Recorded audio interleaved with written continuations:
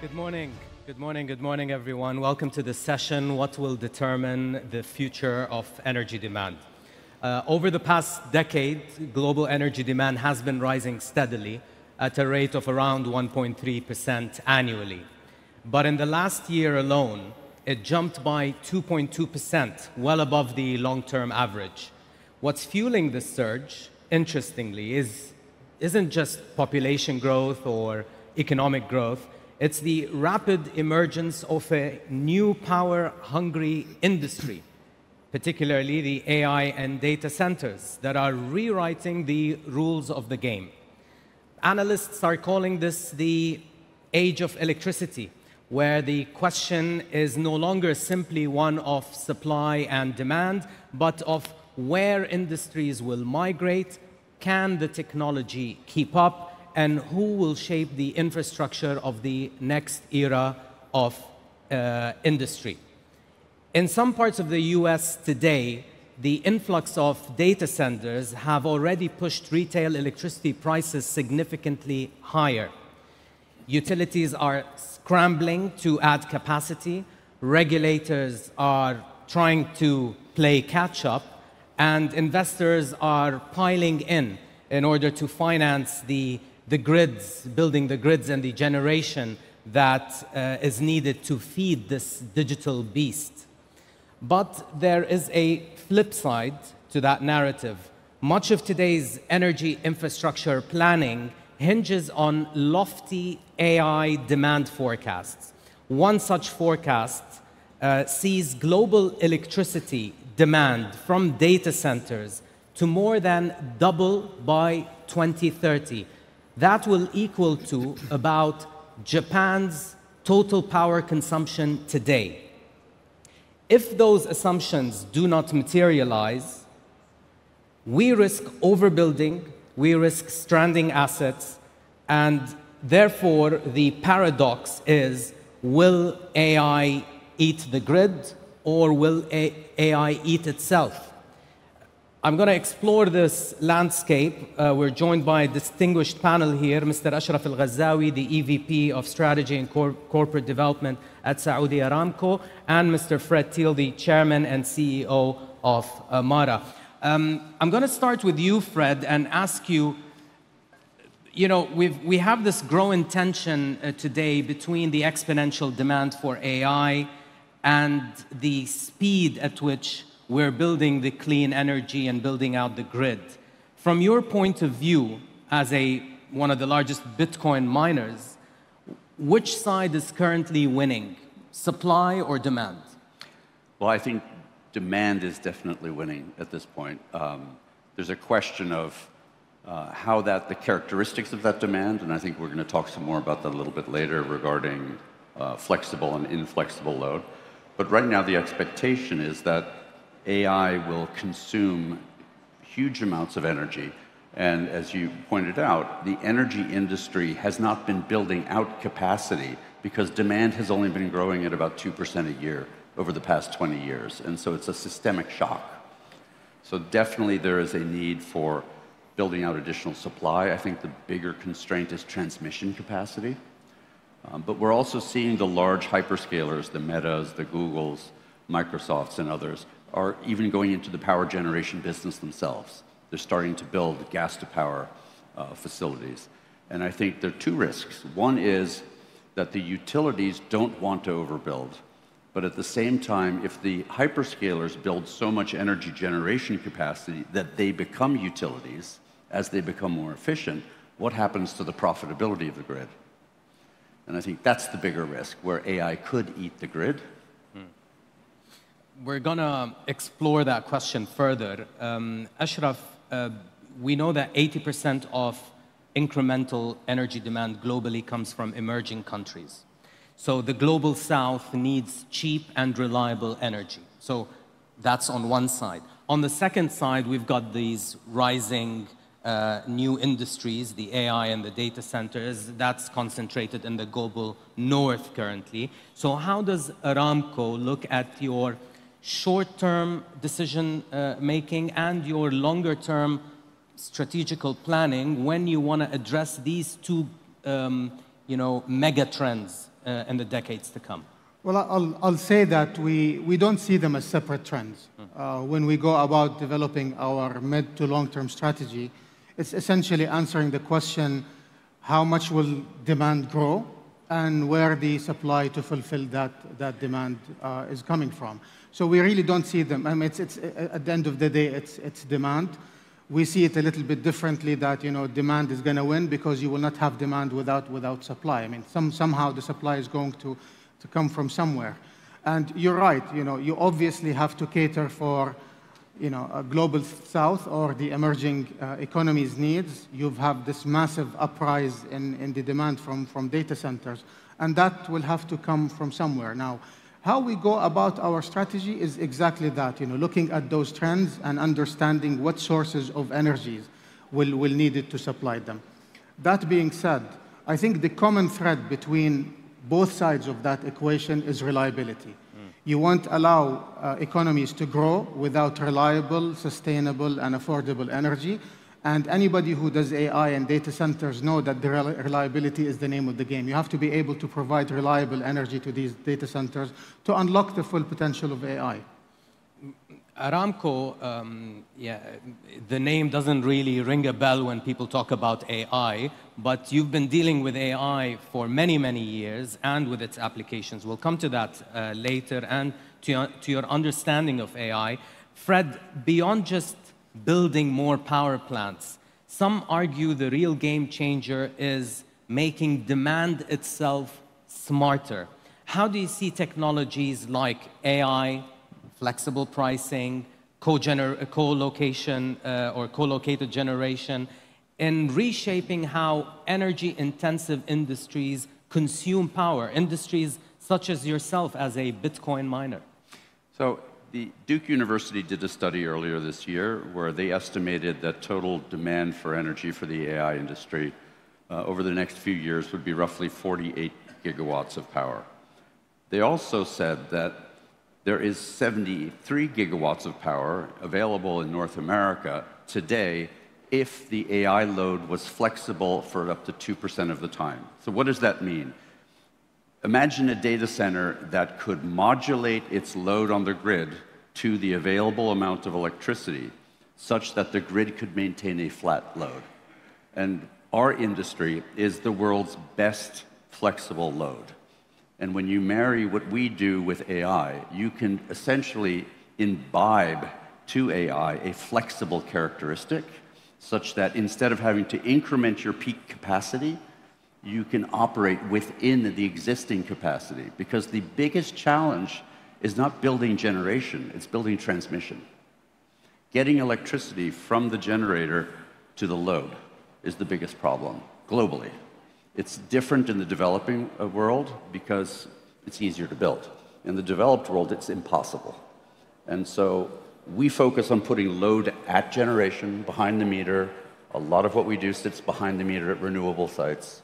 So we're able to avoid these congestion issues. But if AI can become flexible by marrying its technology with what we do, then all of a sudden there are more than ample areas, including in the kingdom today, um, we've been having these conversations with the Ministry of Energy to use the existing capacity without impacting peak.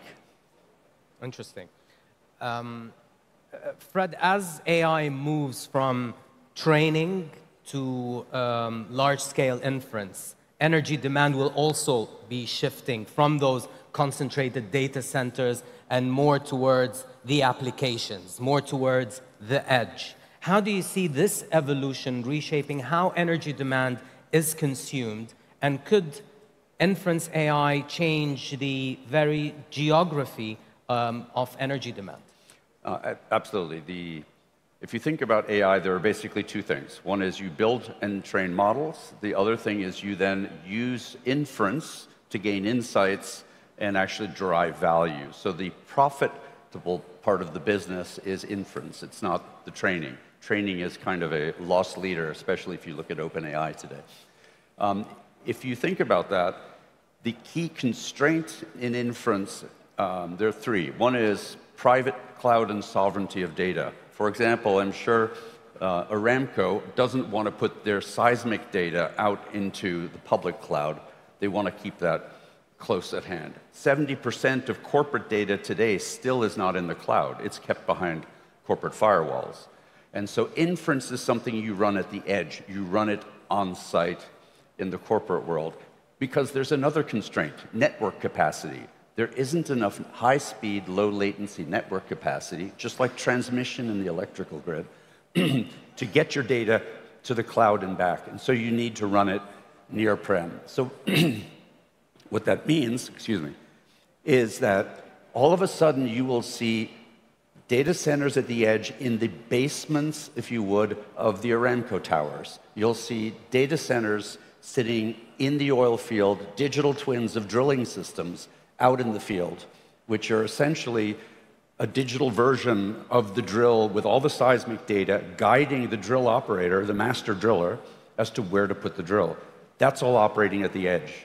To do that, you have to have special infrastructure, but you're not talking about gigawatts of power. Inference doesn't need huge amounts of power. And the risk, I think, back to your original question, does AI eat the grid or vice versa, is you develop big models in the cloud, but the model you actually use in production is much smaller. And so over time, you're going to build intelligence out at the edge. And everything you use for production, supply, distribution of oil, distribution of gas, etc., will have an AI component that will run near or next to what it does. Now, there will be one type of inference which will be done in the cloud, and that is you have high security, high sovereignty, um, high privacy data you want to keep close at hand with low latency. But there are other jobs that may be production analysis that are kind of monthly reports, you may want to run that in very low cost inference sites, which could be remote locations where the cost per token is the lowest. And I think that is the key driver in this uh, business today is the cost per token. You're spending all this money focusing on high cost GPU and energy when the real economic metric that you as a customer use is cost per token. And I want the lowest cost per token. So if I can essentially um, fragment my inference, low latency, high privacy close by, high latency, lower need for privacy, still sovereign though, more remote, low cost energy generation locations. Um, uh, Ashraf, Aramco, we've mentioned before that it's been dealing with AI for many years uh, in its different applications and forms. Um, AI is both a major new consumer of uh, electricity and also a potential tool to radically improve efficiency. So my question to you is, do you believe AI could meaningfully bend the energy demand curve moving forward uh, at the back end of that curve? Or will, it, will its own appetite outweigh those efficiency gains? So let me start by saying yes. I mean, we are not new to AI. We, we have been uh, adopters and heavy users of AI for years. And that was built on, on top of a digital and computing infrastructure that was built over decades. We, you know, we have our own 70 billion parameter large language model that we trained on 93 years of data. The example of, of drilling and how it's enabled by AI, actually, this is not something that we're going to do. This is already happening. You know, we're generating real-time logs for, for drilling activities that helps us minimize emissions and minimize cost of, of our upstream activities. So, so we understand what, what, what comes and what's associated with, with AI. So to your question, and I think like everything around us, efficiency ultimately will help, but it's not going to be necessarily from AI as, uh, as uh, on, its, on its own. You know, we've seen efficiencies help the world not consume the amount of energy that it's supposed to be so that, you know, energy demand is not growing, you know, uh, in parallel or, or at the rate of global economy, and that is attributed to efficiency. And we see it the same thing. But it's not going to be AI alone. You will have efficiencies in the algorithms. You will have efficiencies on the computing platform. The chips themselves will, will become more efficient. And you will probably see efficiencies in the way data centers are designed and the, and the cooling requirements in data centers. And I think all of these factors combined could lead at the end of the day to bending the curve, to your point. Mm -hmm. um, Fred, the, uh, in a minute, the surge in uh, power demand requires massive infrastructure at unprecedented speed. Um, what are the real bottlenecks there? I think we've talked a little bit about it. One of the bottlenecks is you have to generate electricity. That requires permitting, it requires land, it requires all sorts of things. Transmission is the other. You have to get the supply to where the load is. Um, and I think the developed world, if you think about the US and Europe, are the, uh, it's very hard in those markets to develop new energy. They've spent uh, over the past decade a lot of capital in building renewable energy. The problem with renewable energy, such as wind and solar, is it's intermittent, and it makes planning grid operations infinitely more difficult. Um, you, know, you can look at uh, different countries around the world either have huge energy shortages or some have actually electrical energy surpluses. Um, I think the global south, and especially the Kingdom of Saudi Arabia, is extremely well positioned because you have abundant low cost energy, you have abundant land. Mm you have a long-term vision in um, His Highness's Vision 2030, where you now have an ability to plan so that potentially the kingdom could be essentially a global hub for operating low cost per token inference for those types of tasks that people are willing to put their data into a Saudi cloud versus necessarily a US or European or Asian cloud and this is where probably AI sovereignty comes. And um, we've seen the announcement or heard the announcement yesterday of uh, Aramco uh, and HUMAIN. so uh, a new venture for Aramco there. We've got seconds left on the clock. Ashraf, will AI eat the grid or will AI eat itself? I think there is there is a happy you know uh, you know possibility here where actually if it's done right and it's planned right, you know, and, and people make deliberate investment decisions in infrastructure and in data centers, you could actually avoid this scenario because it ultimately it's the dollar per token. And people who, who you know, invest uh, deliberately and make all the right investment decisions based on their advantaged you know, position, Saudi Arabia is actually at the heart of this, you know, where you actually don't need to build overcapacity and make sure that there is the offtake and the demand side that is guaranteed. So I know like Aramco doesn't like to hear the word stranded assets. Can we see stranded assets when it comes to uh, AI-related power uh, utilities? Well, the, the, you know, the answer lies in the dollar per token. You know, mm. th those investors that want to build, they make sure that they have the offtakes, they have the, the, the, demand lined up, and that they make sure that they will be able to be competitive on a dollar per token scenario. So hyperscalers, they should hold the risk. They should hold the risk. All right, gentlemen, thank you. A very interesting discussion. Uh, audience, uh, thank you for listening in. I hope it was all interesting to all of you. Thank you. Thank you.